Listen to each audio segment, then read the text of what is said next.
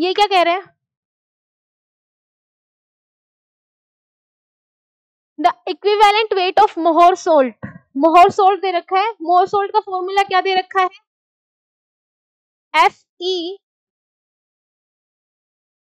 N H four two SO four two ठीक है।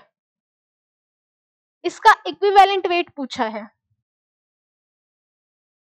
जो कि क्या होता है? Molar mass upon n factor, ठीक है? अब किसी भी सोल्ट का एन फैक्टर क्या होता है? किसी भी सोल्ट में या तो टोटल पॉजिटिव चार्ज देख लो या टोटल नेगेटिव चार्ज देख लो, वो उसका क्या होता है? एन फैक्टर होता है। तो देखो, इसमें कितना है? एफ़ टू प्लस में है और N H four plus one में एग्जिस्ट करता है। तो ये दो एन एच फोर है तो प्लस टू। तो टोटल प्लस का चार्ज कितना है?